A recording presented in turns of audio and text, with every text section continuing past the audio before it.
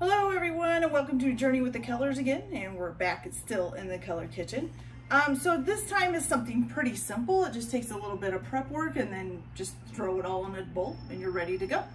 So today we are making Shi-Shock fruit bowls from the Star Wars The Life Day cookbook. And here's the nice little bowls. Aren't those pretty?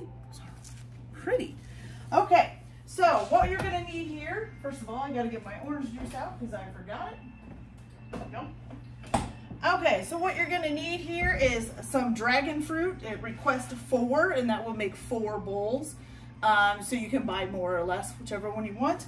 Um, you also need some kiwi, some cantaloupe, some raspberries, some blueberries, and then some orange juice and some lime zest, okay? So first of all, you're gonna start out by cutting your dragon fruit in half, um, long ways like this. And then you're gonna make little balls out of the fruit itself until you get down to just, you know, this in here. Now, these are what you're gonna use for your bowl. So once you get all the fruit mixed up, then you can put it in here. It's a cute little decoration. I'm not gonna use these just because I, I don't need to be pretty today. It's just, just for my family for dinner. So we're just gonna eat the fruit. So if you wanna do, if you wanna make this though for like a fruit bowl for something really cute for your family or whatever, for a party, you can use your little dragon fruit skins. It's really cool. Okay, so also if you don't have a melon baller, which is what you would usually use to ball your fruit, you can also use a teaspoon like this. Or any of these. You could use a teaspoon, a tablespoon, a half a teaspoon, quarter teaspoon. Make different size balls if you want. So that's what I did because I don't have a melon baller right now. Um, so I just used a teaspoon or a tablespoon. So you're gonna go ahead and make little dragon ball balls. Mine are a little awkward because I'm not very good at it. Little balls, okay? Then you're also gonna take your cantaloupe and do the same thing. You're gonna make little cantaloupe balls, okay? Now, after that, you're gonna use, um, you're gonna need some raspberries now. So it was two, it was two dragon fruits. It was supposed to be a cup of balled um, cantaloupe, which, uh, like I said, I just balled up whatever I had and put it in there. I'm just, I'm just gonna mix whatever fruit I have and use it all up. Okay, um, then you're gonna add some, it says a half, uh, half a cup of raspberries. We're just gonna put this whole package in there. And then also a half a cup of blueberries, which this is a lot more than a half a cup, but that's okay. We're just gonna put all of that in there. And then you also are going to need, it says one peeled and diced kiwi. Um, I did about three, I think it was. So we're just gonna add those three peeled and diced kiwi in here. All right. And once you get that in there, um, let's see.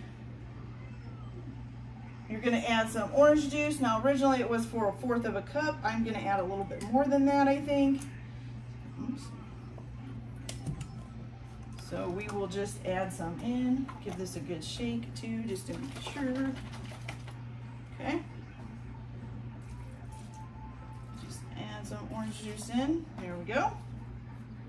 And then it says for a teaspoon of lime zest. Now all you do is take a lime and just run it up and down a grater for the peel. And you got nice little lime zest here. So I don't need much of that. Just put some of that in there. Okay, perfect. Okay, then you're just gonna stir this up.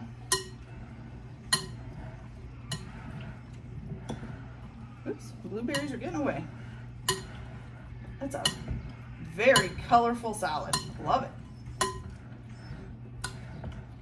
Make sure you get everything coated in your orange juice. Okay, now for me, I'm just gonna leave it here in this bowl. Look at how colorful that is. Look at that. It's beautiful, okay? But like I said, if you want, you could just uh, clean this all out, wipe it dry with a paper towel, and then you could scoop in your fruit,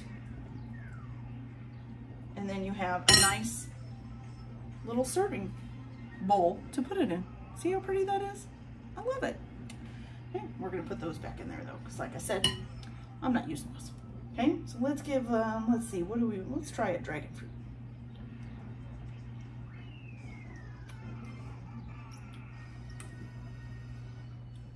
Tastes like dragon fruit. A little hint of orange maybe. It's really good. So this is a great little quick side dish you can make. That's the Shi-Shock fruit bowls. And uh, we're gonna have this tonight with our pizza. So we're gonna have a little bit of healthy with the unhealthy. all right, you all, happy cooking. Hope you all have a good day. Bye.